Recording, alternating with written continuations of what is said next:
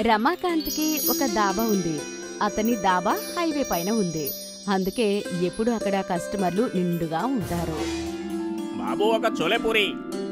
ఒక పులావ్. అరే ఒక దాల్ మరియు కిచిడి. త్వరగా కావాలి. మీరు కూర్చోండి ఇప్పుడే పంపిస్తాను. రమాకాంత్ చాలా సమయం వరకు అతని దాబాలో పనిచేసేవాడు. ఇంకా రాత్రి ఆలస్యంగా ఇంటికి వెళ్ళేసరికి అతని కూతురు నీలిమ అతని కోసం ఎదురు చూస్తూ ఉండేది. నువ్వింకా పడుకోలేదా? ఇప్పటి వరకు ఎప్పుడైనా అలా జరిగిందా? మీకు భోజనం పెట్టకుండా నేను పడుకోవడం? ఇప్పటి వరకు లేదు. ఇక ముందు జరగాలి.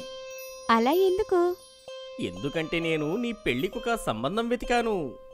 ఏంటి నానా? నేను చేసుకోను పెళ్ళి గిళ్ళి. అందరూ అమ్మాయిలు అలాగే అంటారు. ఆ తర్వాత అత్తగారింటికి వెళ్ళాక వాళ్ళ అమ్మా నాన్నలే మర్చిపోతారు. ఉండొచ్చు.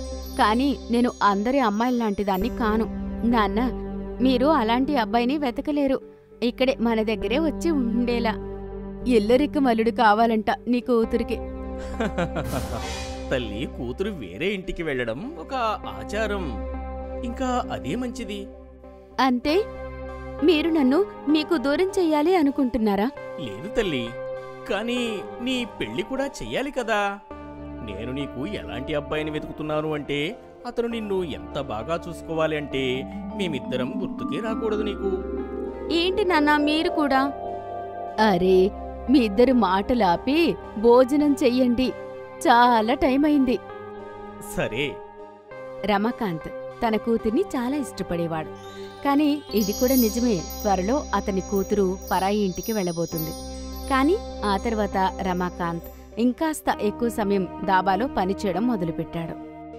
ఏమైంది సార్? ఇవాళ అంత ఆలస్యమైంది. కానీ దాబా ఇంకా ముయ్యలేదు. ఆలస్యమైంది కానీ ఇంకా ఆలోచిస్తున్నాను. ఇంకొద్దిసేపు నడుపుదామని. ఎలా అయినా నా కూతురు పెళ్ళికి డబ్బులు రెడీ చెయ్యాలి. సరే సార్. చిన్న మేడం పెళ్ళి మనం చాలా ఘనంగా చేద్దాం. ఖచ్చితంగా. రమాకాంత్ పనివాళ్ళు కూడా అతనికి తోడుగా ఉన్నారు. ఇంకా వాళ్ళు కూడా ఓవర్ టైం చేయడం మొదలుపెట్టారు. ఒక నెల తర్వాత నీలిమాని చూడ్డానికి అబ్బాయి వాళ్ళు వస్తారు. ఇంకా వాళ్ళకి నీలిమ బాగా నచ్చుతుంది. రెండు నెలల తర్వాత ఒక మంచి శుభముహూర్తం ఉంది. వీరిద్దరి పెళ్ళికి మంచి ముహూర్తం. సరే పంతులు గారు. అందరూ చాలా ఆనందంగా ఉంటారు. నీలిమ పెళ్ళి కుదిరింది.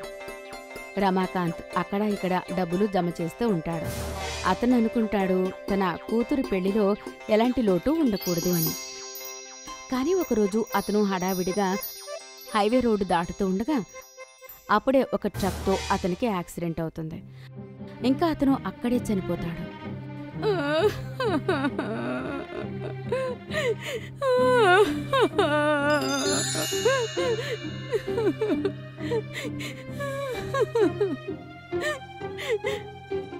ఏ ఇంట్లో అయితే పెళ్ళి పల్లకే లేవాలో ఆ ఇంట్లో శవపేటిక లేపాల్సి వచ్చింది. సరిత ఇంకా నీలిమ జీవించటానికి తోడు లేకుండా పోయింది. కొన్ని రోజుల తర్వాత కిషోర్ రమాకాంతి ఇంటికి వస్తాడు. వదినా రమాకాంత్ అన్న నా దగ్గర రెండు లక్షలు అప్పు తీసుకున్నాడు. కూతురు పెళ్ళి తర్వాత ఇస్తాన్నాడు ఇప్పుడు ఆయన లేరు. మరి నా డబ్బులేలా వాటిని ఎవరిస్తారు నాకు? కానీ ఆయన ఈ విషయం గురించి నాకు ఏమీ చెప్పలేదన్నా. ఇదంతా నాకు తెలియదు కానీ నాకు ముందు ఈ విషయం చెప్పండి. డబ్బులు ఎవరిస్తారు? నేనిస్తాను. మా నాన్నగారు చేసిన అప్పంతా నేను తిరిగిస్తాను. కానీ కేవలం నాకు ఒక ఆరు నెలల సమయం ఇవ్వండి. సరే తల్లి నేను ఆరు నెలల తర్వాత తిరిగి వస్తాను. అప్పటి వరకు డబ్బు సిద్ధంగా ఉంచండి. సరిత తన తల పట్టుకుంటుంది.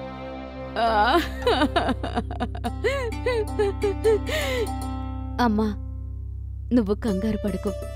అంత బాగవుతుంది. కానీ అప్పు ఎలా కట్టాలి? పని చేసమ్మా. నేను నాన్నగారి దాబా నడిపిస్తాను. కాని తల్లి నువ్వు ఇవన్నీ ఎలా చేయగలవు? చేస్తానమ్మా. నాన్నగారున్నారు కదా నాతో. ఇంకా మరుసటి రోజే నీలిమ దాబా దగ్గరికి వెళ్తుంది. బాబాయ్. ఇవాల్టి నుంచి దాబా నేను నడిపిస్తా. సరే తల్లి మేము నీ నాన్నగారికి చాలా రుణపడి ఉన్నాము. మేమందరం నీకు సహాయం చేస్తాము. నాకు మీ మీద నమ్మకం ఉంది. దాబా దగ్గర బండ్లు ఆగడం మొదలయ్యాయి. ఇంకా దాబాకి జనాలు భోజనం చేయడానికి వచ్చేవారు. నీలిమ అందరి దగ్గర ఆర్డర్ ఇంకా డబ్బులు తీసుకునేదే. ఉదయం నుంచి రాత్రి వరకు తను దాబా చూసుకునేదే. దాబా మూసే సమయంలో తను డబ్బులు లెక్క పెట్టుకునేదే. ఇవాళ కేవలం మూడు వేల రూపాయలు మాత్రమే జమయ్యాయి. అందులో పదిహేను వందల రూపాయలు లాభం. ఇలా నడుస్తూ ఉంటే నేను కిషోర్ బాబాయ్ అప్పు ఎలా కట్టాలి? భగవంతుడా నాకు సహాయం చెయ్యి. ఇంకా చాలా రోజుల వరకు నీలిమ ఉదయం నుంచి రాత్రి వరకు పనిచేస్తూ ఉండేది. కానీ తనకు వచ్చే లాభం మాత్రం తక్కువే. తనకి అస్సలు సంతోషం లేదు. చాలా రోజులు గడుస్తాయి. ఒకరోజు రాత్రి అందరూ పనివాళ్ళు వెళ్ళిపోతారు. ఇంకా నీలిమ డాబా మూసేస్తూ ఉంటుంది. అప్పుడే ఒక పెద్ద సాధువు అక్కడికి వస్తాడు. తల్లి రెండు రోజులుగా ఆకలితో ఉన్నాను. తినడానికి ఏమైనా ఉంటే పెట్టు తల్లి. రండి కూర్చోండి. కానీ తల్లి నీకు ఇవ్వడానికి నా దగ్గర డబ్బులేమీ లేవు. ఏం పర్వాలేదు. నీలిమ కిచెన్లోకి వెళ్తుంది. అక్కడ కూర ఉంది కానీ రోటీ లేదు. నీలిమ చూస్తుంది. రుమాలి రోటీ పిండి మిగిలి ఉంటుంది. తను వెంటనే స్టవ్ అంటించి రెండు మట్కా రోటీ తయారు చేస్తుంది. ఇంకా కూరతో ఆ సాధువుకి వడ్డిస్తుంది. ఆ సాధువు చాలా ఆకలిగా ఉన్నాడు. భోజనం ముందు పెట్టగానే తినడం మొదలుపెట్టాడు. అతని భోజనం పూర్తవగానే అతను చేతులు కడుక్కుంటాడు. ధన్యవాదాలు తల్లి. నువ్వు ఆకలితో ఉన్న వాళ్ళ కడుపు నింపావు. భగవంతుడు నీకెప్పుడు మంచే చేస్తాడు. నేను నీ గురించి భగవంతుడికి ప్రార్థన చేస్తాను.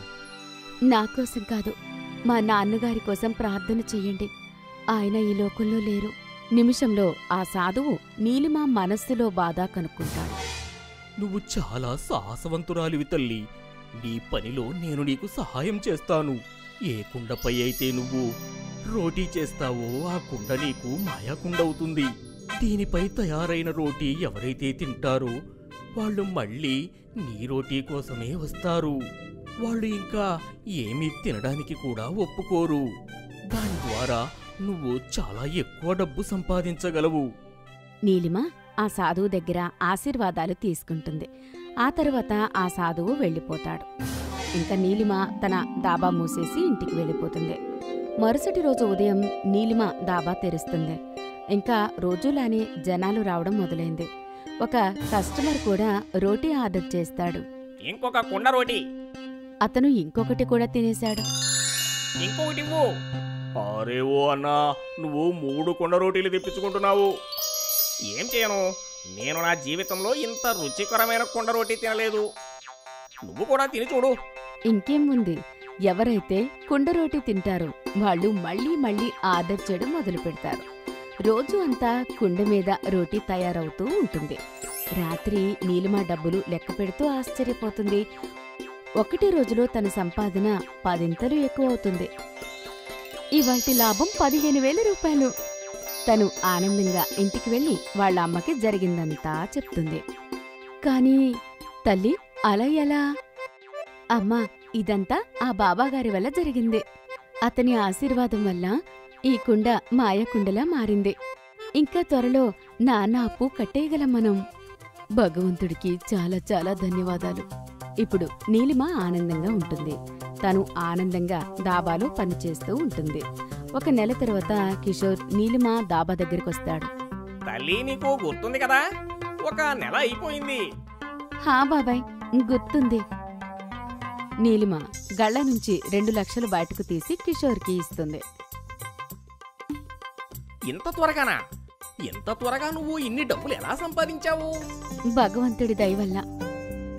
నీలిమ కిషోర్ చెవిలో కుండరోటి రహస్యం చెప్తుంది. అప్పట్నుంచి దాబా నడుస్తుంది బాబాయ్. ఇంకా ఆదాయం కూడా పెరిగింది.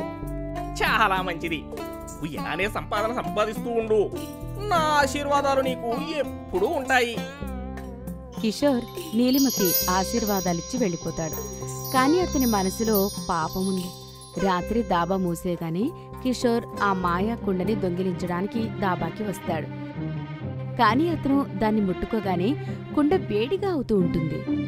కుండ ఎంత వేడిగా అవుతుంది అంటే అది ఎర్రగా అయిపోతుంది. ఇంకా కిషోర్ చేతులు కాలిపోతాయి. నా చేతులు. నా చేతులు. కిషోర్కి తన అత్యాశకి శిక్ష పడింది. అతనికి మాయా రోటీ తయారు చేసేకుండా దొరకలేదు. ఇంకా అతని రెండు చేతులు కారిపోతాయి. అందుకే అంటారు అత్యాస మంచిది కాదు అని.